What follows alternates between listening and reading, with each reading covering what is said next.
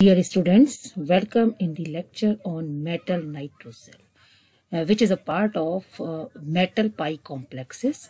And especially in this lecture, we will discuss about the bonding in metal nitrocells. Okay तो इससे पहले हम metal पाई complexes के अंदर मेटल कार्बोनल्स को पढ़ चुके हैं और उनके जो इंट्रोडक्शन है general introduction then classification then हम इसमें पढ़ चुके हैं preparation method and properties and in continuation in case of metal nitrosyl also had uh, discussed about their general introduction, their classification, their preparation and their properties. And इस lecture में हम discuss करने वाले हैं कि मेटल और nitrosyl के बीच में जो बॉन्डिंग है वो किस तरीके से होती है see the case of metal carbonyls, uh, metal nitrosyls, then we will find again three kind of bonds. Metal nitrosyls में भी मेटल कार्बोनिल की तरह हम तीन तरीके के बॉन्ड देखेंगे। हमने मेटल कार्बोनिल में सी ओ बॉन्ड देखा था और एम सी बॉन्ड देखा था। इसी तरीके से मेटल नाइट्रोसिल्स में M N O bond M N bond ये सारे मेटल नाइट्रोसिल्स में मिलेगा। और जो एम एम बॉन्ड है, वो उन मेटल नाइट्रोसिल्स में मिलेगा जहाँ पर दो न्यूक्लियस से अधिक सेंटर्स होंगे मेटल नाइट्रोसिल में, केवल वहीं पर इस तरीके का बॉन्ड मिलेगा और बाकी सारे नाइट्रोसिल्स में N O and M N bond मिलेगा। अगर हम इनका mode of attachment mode of bonding of nitrosyl देखें तो ये दो तरीके से होती है, जो कि कार्बोनल्स में भी होती है terminal nitrosyls and bridged nitrosyls लेकिन यहाँ पर एक डिफरेंस हम देखेंगे कि जो टर्मिनल नाइट्रोसिल्स हैं, उनका जो मोड ऑफ़ बॉन्डिंग है, वो अगेन दो तरीके से डिवाइड किया जा सकता है। एक है linear nitrosyls you can see here and another is bent nitrosyl तो ये जो डिफरेंट मोड ऑफ़ बॉन्डिंग है नाइट्रोसिल्स में कार्बोनिल से that is due to one electron that is present in the pi anti bonding molecular orbital उसकी वजह से ये दो तरीके से बॉन्डिंग कर सकता है, जिसको हम पहले इसके मोलिकुलर ऑर्बिटल डायग्राम को जब हम समझेंगे then we can only understand about the linear nitrosyls and bent nitrosyls see the molecular orbital diagram of nitrosyl ये बच्चों ये है नाइट्रोसिल का मॉलिकुलर ऑर्बिटल डायग्राम जहाँ पर आप देखेंगे कि ये जो एटॉमिक ऑर्बिटल्स हैं these are the atomic orbitals of nitrogen and these are the atomic orbitals of oxygen atomic orbitals okay so these are the atomic orbitals of oxygen and these in between these are the molecular orbitals of NO ये nitrosyl के क्या हैं molecular orbitals हैं तो जब जो nitrogen है और ऑक्सीजन है, उसके जब एटॉमिक ऑर्बिटल्स लीनियरली कंबाइन होंगे then they will form the molecular orbitals और आप अगेन देखेंगे कि जो ऑक्सीजन के जो ऑर्बिटल्स हैं, उनकी एनर्जी कम है नाइट्रोजन के ऑर्बिटल्स की एनर्जी अधिक है, चाहे वो टू हो, चाहे वो पी टू पी ऑर्बिटल्स हो।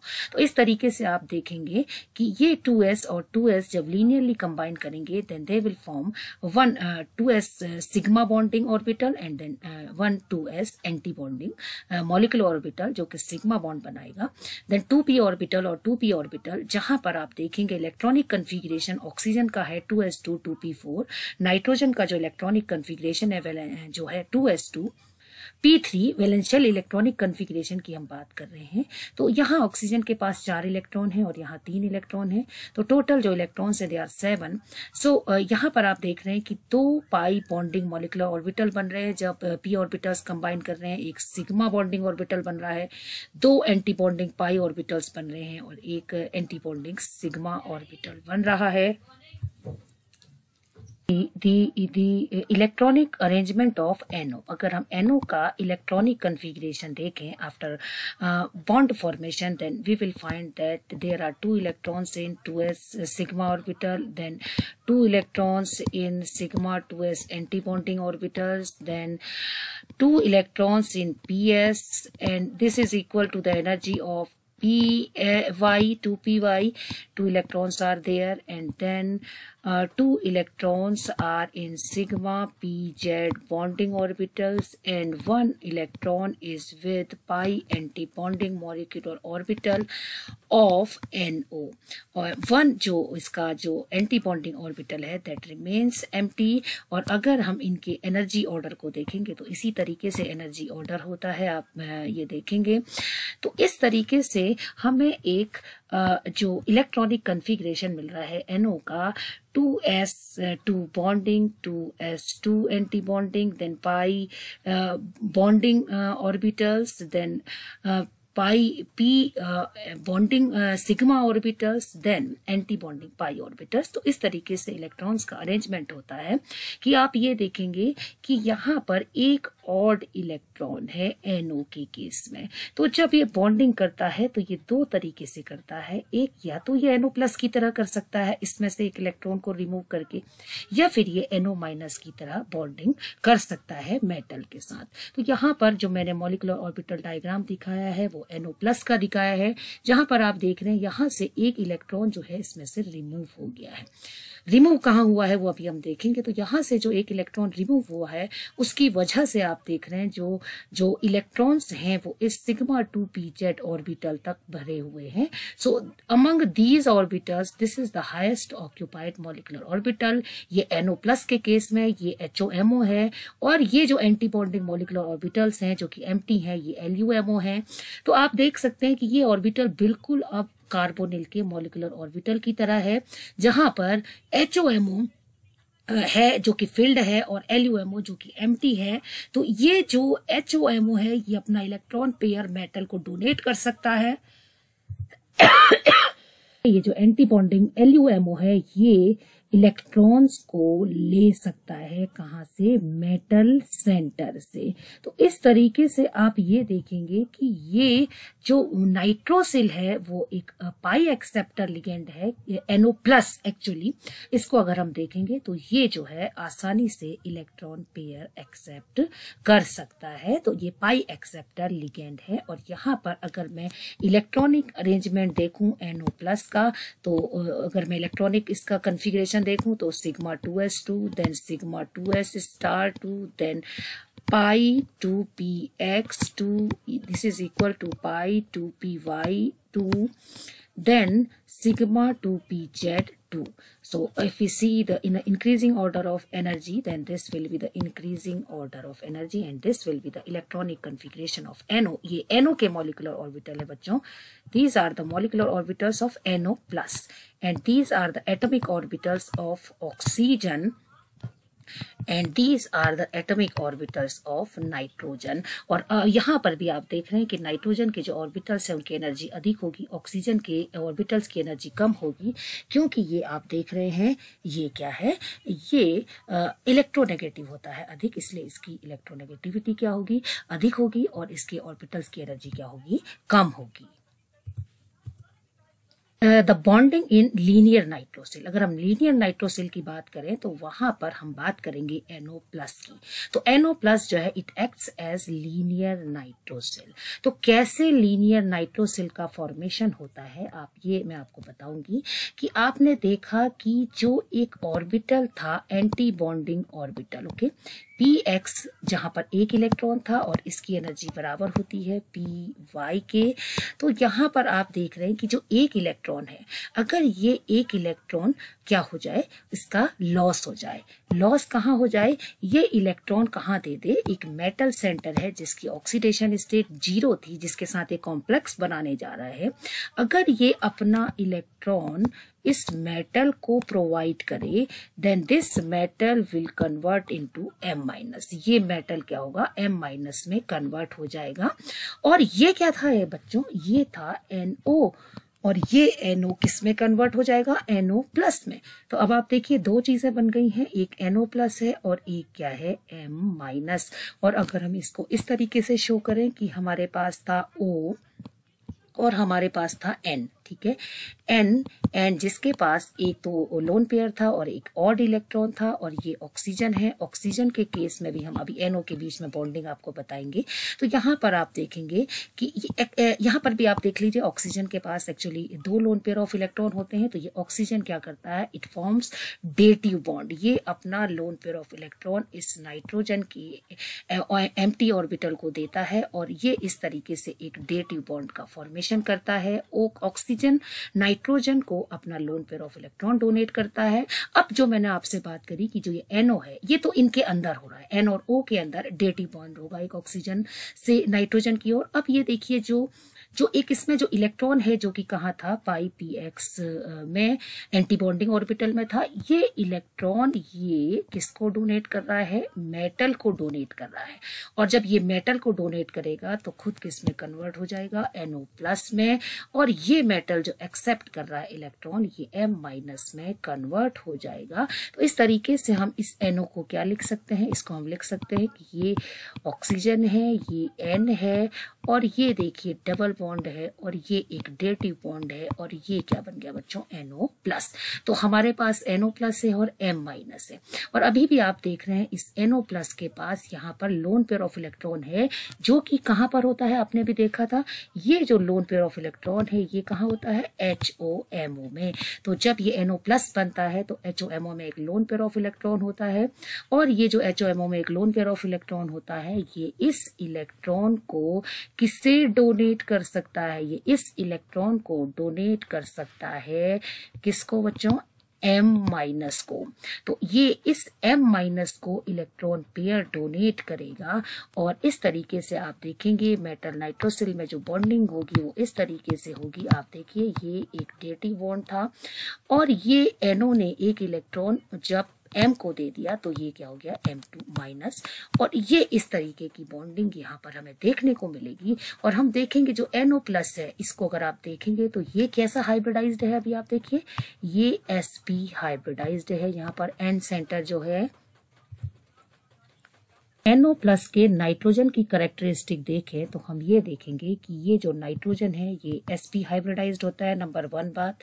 क्यों होता है? क्योंकि देखिए, एक सिग्मा बॉन्ड ये है और एक सिग्मा बॉन्ड आप देखिए, यहाँ है ओके तो ये सिग्मा बॉन्ड की वजह से यहाँ पर क्या है? Sp हाइब्रिडाइजेशन और जहाँ पर sp हाइब्रिडाइजेशन होगा, वो कैसा होगा? लीनियर होगा। तो इसलिए आप ये देखेंगे, जो हमारे पास जो एनओ प्लस होता है, उसकी क्या क्या प्रॉपर्टी प्रॉपर्टीज़ है नंबर वन जो नाइट्रोजन है it is s p hybridised क्यों है? क्योंकि ये लीनियर हो जाता है, इसीलिए कैसा होता है लीनियर होता है।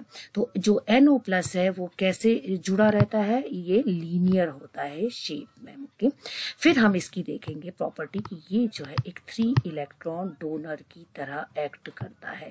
थ्री इलेक्ट्रॉन डोनर की तरह कैसे एक्ट कर रहा था? यहाँ पर जो नाइट्रोसिल है एक्चुअली वो थ्री इलेक्ट्रॉन डोनर की तरह एक्ट कर रहा था। अगर लीनियर वो जुड़ा होगा, क्यों? क्योंकि एक इलेक्ट्रॉन तो उसने पहले ही डोनेट कर दिया, देखिए, और दो इलेक्ट्रॉन फिर डोनेट कर रहा है। तो जो एनो है, वो अगर एनो प्लस की फॉर्म में प्रेजेंट है then it acts as three electron donor तो ये इसकी स्पेशलिटी है कि एनो प्लस जो है, वो पहले एक इलेक्ट्रॉन डोनेट करता है देन टू इलेक्ट्रॉन डोनेट करता है टोटल थ्री इलेक्ट्रॉन डोनर है एसपी हाइब्रिडाइज्ड है। होता है लीनियरली अरेंज रहता है। को डिपिक्ट किया है कि ये देखिए नाइट्रोसिल है। ये नाइट्रोसिल जो है वो एक इलेक्ट्रॉन दे रहा है, पहले यहाँ पर आप देख सकते हैं। और एक इलेक्ट्रॉन देने के बाद ये मेटल के साथ मेटल माइनस हो गया और ये मेटल फिर एनओ प्लस हो गया। तो ये दोनों जब जुड़ेंगे कि ये अपना लोन पर ऑफ़ इलेक्ट्रॉन इसको डोनेट करेगा। दस, ये लीनियरली अरेंज होगा और यहाँ पर हमेशा एक डेटिव बॉन्ड रहेगा। वो तो ऑक्सीजन के पास लोन पेयर ऑफ़ इलेक्ट्रॉन जो है वो नाइट्रोजन को डोनेट करता है। तो इस तरीके से मेटल नाइट्रोसिल जो है उसमें लीनियर बॉन्डिंग होगी और बिल्कुल कार्बोनिल की तरह हो रहा है। आप देख रहे हैं यहाँ पर पाई बॉन्ड का फॉर्मेशन हो रहा है एम और एन के बीच में। क्यों हो रहा है बाइक पाई बैक बॉन्डिंग क्योंकि जो नाइट्रोसिल है, उसके पास भी एनओ प्लस जब वो है तो उसके पास क्या है? M T anti bonding molecular orbital है where it can accept electrons from metal center तो मेटल सेंटर से इलेक्ट्रॉन्स को एक्सेप्ट कर सकता है। मॉलिकुलर ऑर्बिटल जो डिपिक्शन है, उसके हिसाब से भी मैं आपको समझाना चाहूँगी। ये एम है, ये एम का, और ये जो है एनओ है, ठीक है? एनओ है, और ये इसके पास लोन पेयर ऑफ़ इलेक्ट्रॉन है। ये देखिए, ये डबल बॉन्ड एंड ये ट्रिपल बॉन्ड इनके बीच में है। अब ये इसका जो ऑर्बिटल्स हैं, अगर हम देखेंगे, ये जो जो एनओ है, ये अपना इलेक्ट्रॉन पेयर इस मेटल सेंटर को देगा thus it form sigma bond अब ये कहाँ से आएगा जो इलेक्ट्रॉन पेयर है? This electron pair is from H O M O ये इलेक्ट्रॉन पेयर एनओ प्लस के कहाँ पर है? एच ओ एम ओ में है, जो कि ये मेटल को आसानी से इलेक्ट्रॉन पेयर डोनेट करेगा। फिर हम देखेंगे जो जो मेटल सेंटर होगा, उस मेटल सेंटर के पास जो डी ऑर्बिटल होगा जो जो फिल्ड डी ऑर्बिटल होगा, वो फिल्ड डी ऑर्बिटल नाइट्रोजन का जो एम टी ऑर्बिटल है एम टी कौन सा ऑर्बिटल है? एंटी बॉन्डिंग मॉलिकुलर ऑर्बिटल है। उस एंटी बॉन्डिंग ऑर्बिटल के साथ एंटी और एंटी बॉन्डिंग ऑर्बिटल के साथ कौन सा ऑर्बिटल है? एल यू एम ओ जो कि एम टी है। तो ये मेटल क्या करेगा? इसको बैक डोनेट करेगा electron pair and thus it will form pi bond तो आप ये देखेंगे कि ये एन ओ प्लस एम के साथ सिग्मा बॉन्ड बना रहा है और जो एम है वो एनओ प्लस के साथ क्या बना रहा है? पाई बॉन्ड का फॉर्मेशन कर रहा है। इस तरीके से आप सिनर्जेटिक्स इफ़ेक्ट यहाँ पर भी देखेंगे जो कि एम और एन के बीच के बॉन्ड को क्या करता है? स्ट्रॉन्ग करता है।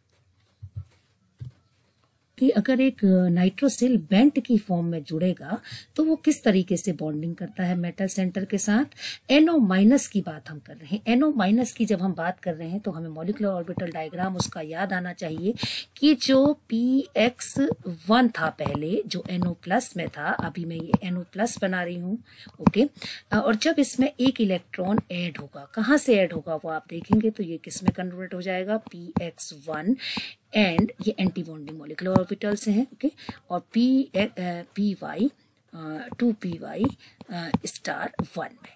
तो ये क्या बन गया? ये जो एनओ था, वो किसमें कन्वर्ट हो गया? एनओ माइनस में। अब आप देखेंगे जो एंटी बॉन्डिंग ऑर्बिटल है, उसमें दोनों में एक एक इलेक्ट्रॉन है। तो एक एक इलेक्ट्रॉन इन दोनों में है तो ये किस तरीके से ये बॉन्डिंग करेगा? ये एनओ माइनस की बॉन्डिंग किस तरीके से होती है? मेटल सेंटर के पास, वो हम देखेंगे। ये एक मेटल सेंटर है। ये मेटल सेंटर जिसके पास इलेक्ट्रॉन सफिशियंट हैं तो ये क्या कर सकता है? नाइट्रोसिल है जो हमारे पास। नाइट्रोसिल के पास क्या था? बच्चों M T anti bonding molecular orbital एक था नाइट्रोसिल के पास। तो ये जो नाइट्रोसिल है इसके पास, ये देखिए, पहले से ही तीन इलेक्ट्रॉन थे। अब ये जो मेटल है, ये अपना इलेक्ट्रॉन नाइट्रोसिल के किसको देता है? Pi p y star orbital को। तो जब ये इलेक्ट्रॉन इसको दे देगा देन ये क्या करेगा? अब इसके पास क्या है? एक लोन पेयर ऑफ़ इलेक्ट्रॉन है पहले से ही। तो इस लोन पेयर ऑफ़ इलेक्ट्रॉन को ये किसको डोनेट करने वाला है? इसको हम फिर से बना के देखते हैं। एन है, इसके पास इलेक्ट्रॉन पेयर है और एक इलेक्ट्रॉन इसने एक्सेप्ट किया था किससे बच्चों? मेटल से और मेटल से एक्सेप्ट करने के बाद ये किसमें कन्वर्ट हो गया? नेगेटिव में। और फिर ये किससे रिएक्ट करेगा? एम प्लस से। एम प्लस कहाँ से आया? ये देखिए, इसने बनाया एम प्लस एम प्लस इसने अपना एक इलेक्ट्रॉन इसको दिया, ये एम प्लस हो गया और ये क्या हो गया? एनओ माइनस हो गया। अब ये जो एनओ माइनस है, ये अपना एक इलेक्ट्रॉन पेयर इस एम को डोनेट करेगा और डोनेट करने के बाद इस तरीके से बॉन्डिंग होगी कि ये आप देख सकते हैं कि इस नाइट्रोजन की जो बॉन्डिंग है वो बेंट फॉर्म में होगी। अब देखिए इसके पास एक लोन पेयर ऑफ़ इलेक्ट्रॉन था एक इसके पास अनपेयर्ड इलेक्ट्रॉन पहले से था और एक इलेक्ट्रॉन यहाँ से ले लिया। तो यानी एक लोन पेयर ऑफ़ इलेक्ट्रॉन ये हुआ और दो इलेक्ट्रॉन और है यहाँ पर। तो ये जो फाइनली uh, एक lone pair of electron M plus को देगा तो इसके पास एक लोन पेयर ऑफ़ इलेक्ट्रॉन रहेगा। अब अगर हम इसको देखें तो फाइनली ये एक इलेक्ट्रॉन डोनर है क्योंकि एक इलेक्ट्रॉन तो इससे मिला मेटल से। और इसने एक इलेक्ट्रॉन पेयर फिर से मेटल को दे दिया। तो मेटल का अपना एक इलेक्ट्रॉन जो उसने नाइट्रोसिल को दिया था, वो है और एक इलेक्ट्रॉन नाइट्रोसिल का है। तो टोटल मिला के अगर हम देखेंगे तो यहाँ पर जो नाइट्रोसिल है, वो क्या होगी? वन इलेक्ट्रॉन डोनर होगी। तो अगर मैं एनओ माइनस की बात करूँ तो NO minus is a one electron donor species ये एक इलेक्ट्रॉन डोनर स्पीसीज है, क्योंकि ये जो एक इलेक्ट्रॉन है, ये इसे पहले मेटल से मिला और उसी लोन पेयर को इसने मेटल को डोनेट किया है। तो इस तरीके से ये वन इलेक्ट्रॉन डोनर स्पीसीज है और अगर हम इस पर हाइब्रिडाइजेशन देखें नाइट्रोजन के ऊपर तो वो sp2 हाइब्रिडाइजेशन है, क्योंकि एक लोन पेयर है, एक सिग्मा है, दूसरा सिग्मा है।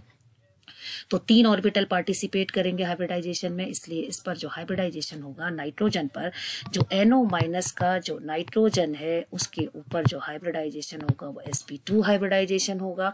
और आप देख सकते हैं कि ये sp2 हाइब्रिडाइजेशन होने की वजह से ये कैसा है? बैंड ये किस तरीके से जुड़ा है? देखिए बैंड फॉर्म में मेटल के साथ जुड़ा हुआ है। तो इस तरीके से आप देखेंगे, एक NO प्लस जब जुड़ेगा तो वो थ्री इलेक्ट्रॉन डोनर की तरह एक्ट करेगा और जब एक एनओ माइनस की तरह जुड़ेगा तो वन इलेक्ट्रॉन डोनर होगा।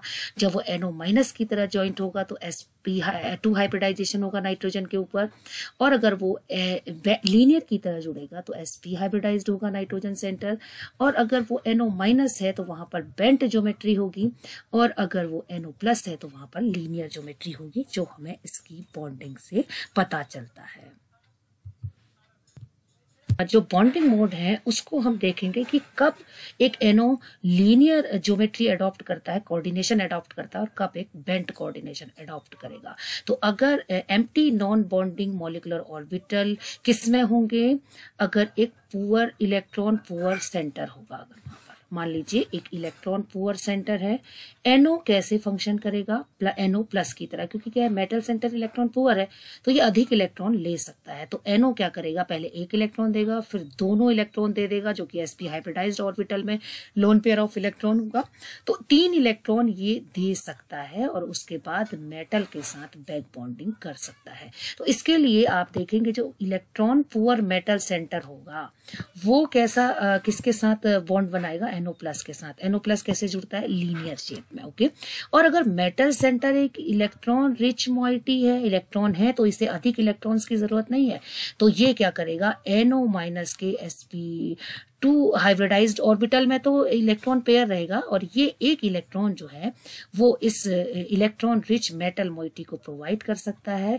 इसलिए बेंट कोऑर्डिनेशन पॉसिबल होगा। तो ये मेटल सेंटर पर भी डिपेंड करेगा कि मेटल सेंटर अगर इलेक्ट्रॉन पुअर है तो एन ओ जो है एनओ प्लस की फॉर्म में जुड़ेगा और अगर इलेक्ट्रॉन रिच मोइटी है मेटल सेंटर तो एनओ माइनस की फॉर्म में एनओ इस मेटल सेंटर के साथ जुड़ेगा। से आप देखेंगे कि जो sp2 हाइब्रिडाइज सेंटर में NO2 NO माइनस के जो इलेक्ट्रॉन पेयर है, वो डोनेट नहीं करेगा। तो पाई बॉन्डिंग यहाँ पर बैक बॉन्डिंग जो है स्पेसिफिक नहीं है बेंट के केस में एम और एन के बीच में, जबकि ये जो जो पाई बैक बॉन्डिंग हो रही, वो NO प्लस के केस में आसानी से होगी।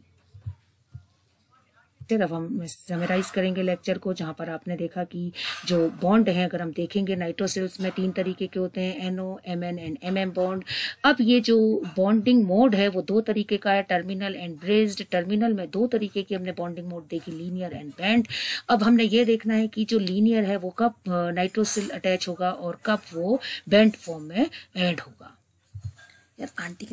You can see in case of NO there is one unpaired electron in this antibonding orbital और अगर इसमें से एक इलेक्ट्रॉन रिमूव हो जाए तो ये एनओ प्लस में कन्वर्ट हो जाएगा। ये वन इलेक्ट्रॉन ये किसको डोनेट कर सकता है? मेटल सेंटर को डोनेट कर सकता है। उस मेटल सेंटर को जो कि इलेक्ट्रॉन पुअर है तो उसको ये एक इलेक्ट्रॉन डोनेट करेगा। देन आप देख रहे हैं कि ये जो है, ये वाला ऑर्बिटल क्या हो जाएगा? एचओएमओ हो जाएगा। और इस एचओएमओ को ये फिर से मेटल सेंटर को डोनेट कर सकता है, क्योंकि वो इलेक्ट्रॉन पुअर है। और इस LUMO में it can accept electron pair from metal center thus NO plus can form easily pi bond in between M and N okay then NO minus को अगर आप देखेंगे तो यहाँ पर एक इलेक्ट्रॉन मेटल सेंटर ने दिया है और जब एक इलेक्ट्रॉन दे दिया है उसके बाद ये अपना एक इलेक्ट्रॉन पेयर डोनेट कर सकता है मेटल uh, सेंटर को। इसलिए टोटल मिला के ये एक इलेक्ट्रॉन डोनर होगा वन इलेक्ट्रॉन डोनर होगा जो एनओ माइनस होगा और वो तब होगा जबकि इलेक्ट्रॉन पहले से ही सफिशियंट होंगे। ये बॉन्डिंग मैंने आपको दिखाई थी, किस तरीके से बॉन्डिंग होती है, अगर एक एनओ प्लस एक लीनियर जुड़ेगा तो किस तरीके से वो बॉन्ड बनाएगा, और अगर एक एक बेंट नाइट्रोसिल होगा तो वो किस तरीके से बॉन्डिंग करेगा, और यहाँ पर मैंने आपको बताया था कि अगर इलेक्ट्रॉन रिच मेटल सेंटर होगा तो एनओ माइनस मोड होगा बॉन्डिंग का, यानी बेंट मोड होगा, और अगर इलेक्ट्रॉन पुअर मेटल सेंटर होगा तो लीनियर कोऑर्डिनेशन मोड होगा। So this is all about about uh, the bonding in metal nitrocells. Uh, in the next lecture, we will discuss about the EAN and 18 electron rule in metal nitrocells. So thank you very much.